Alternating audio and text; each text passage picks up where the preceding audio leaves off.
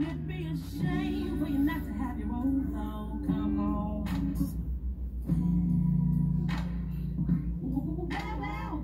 Wow.